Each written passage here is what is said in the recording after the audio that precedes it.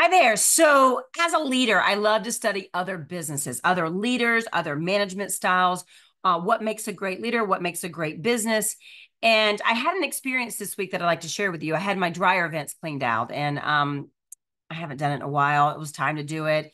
So I go online, I search up who does dryer vent clean outs, and found a guy online not a referral from anybody else, and his Google reviews look great. And so I called him up and I said hi, and I, we scheduled a time. And he promptly sent me a confirmation. He sent me a text. He confirmed it the day before, and he showed up on time.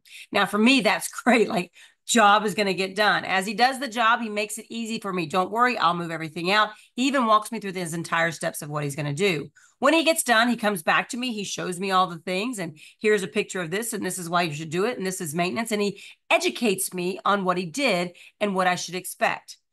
And so then I go and I pay him his $140 for the job that he did. And he looks at me, he says, Listen, don't worry about calling me next year. I'll call you because I want to make sure that every year you get this job done and I'm the person who does it for you.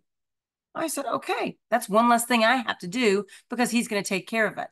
Then he sends me a text afterwards saying, uh, thanks so much for um, allowing me to service your house through this. And I'd love if you had a great experience to give me a Google review. Now, I give Google Google reviews. Uh, lots of times I'm going too fast and I don't honestly think about it or forget about it. Then he sends me a follow up one to do it. And you know what? I went in and I did the Google review because this guy did a great job. It took me two seconds to do, and he and he followed up with me. Do you know after I finished the Google review, immediately I get a text that said, Hey, Kimberly, thanks so much for your Google review. If you know of anybody who you could refer me to, referrals are always my best source of business.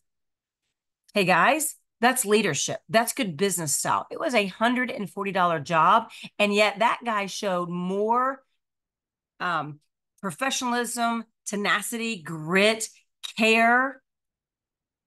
I'm just saying, there's some lessons to be learned from this. Have a great day.